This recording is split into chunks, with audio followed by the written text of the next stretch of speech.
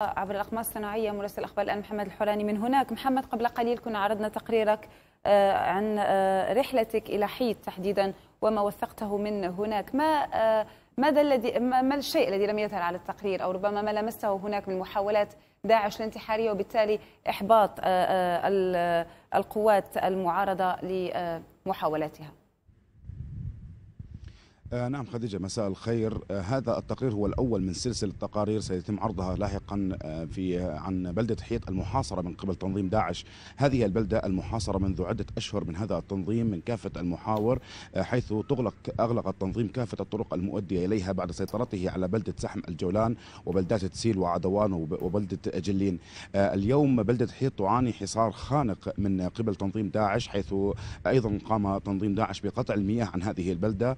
آه يقوم أهالي البلدة آه، بالعبور إلى أسفل وادي اليرموك آه، متعرضين للخطر من قبل قناصات داعش حتى يحصلوا على الماء وهي مياه ملوثة. هناك أيضا أهالي حيط يعتمدون على الزراعة. آه، اليوم كافة الأراضي الزراعية في بلدة حيط هي معرضة للإتلاف خاصة ونحن الآن في موسم الصيف وهو موسم زراعي بالنسبة للفلاحين الموجودين داخل بلدة حيط. هذه المشاريع الزراعية أيضا تعرضت للإتلاف بسبب حصار تنظيم داعش وعدم قدرة الأهالي على إخراج المواد الزراعية إلى خارج بلدة حيط لعرضها في الأسواق. آه، هناك حصار حقيقي ومعاناة إنسانية داخل هذه البلدة آه، من قبل تنظيم داعش. أما بالنسبة للموضوع العسكري والجانب العسكري في هذه البلدة آه، البلدة بلدة حيط عملت على تشكيل غرفة عمليات صد البغاء. هذه العمليات تضم كل فصائل الجيش الحر المتمثلة في الجبهة الجنوبية لصد تقدم التنظيم الذي حاول مرات عدة اقتحام هذه البلدة بالمفخخات بالقناصات بعمليات التسلل وربما أيضا عن طريق انتحاريين من عناصر. التنظيم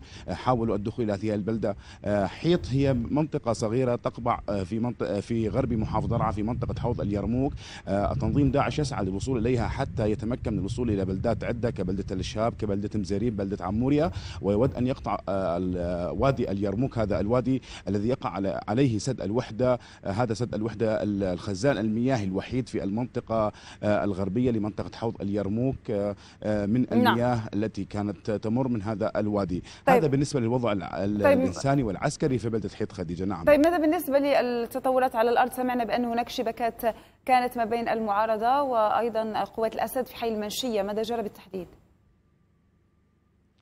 آه، خديجة في حقيقة الأمر منذ بداية قرار وقف إطلاق النار لم تهدأ آه، الاشتباكات في حي المنشية ولكن هي كانت آه، متقطعة غير خف غير على عكس ما كانت على سابق سابقها من الأيام قبل قرار وقف إطلاق النار.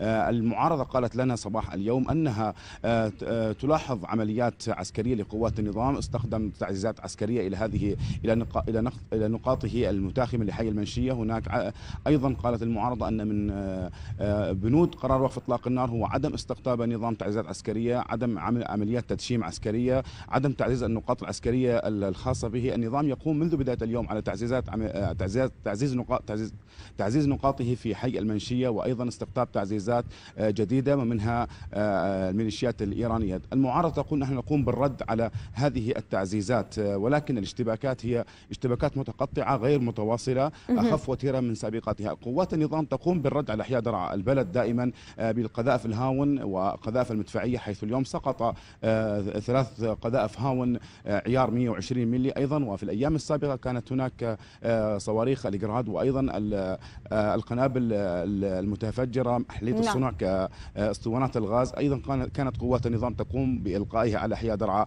البلد الجدير بالذكر خديجة أن درعا البلد كانت قبل قرار وقف إطلاق النار تشهد عمليات عسكرية ممنهجة وعنيفة ما بين قوات النظام نعم. وقوات المعارضة ضمن غرفة عمليات البنيان المرصوص. أشكرك جزيلا محمد الحوراني مراسل أخبار الآن كنت معنا عبر الاقماص الصناعية من درعا.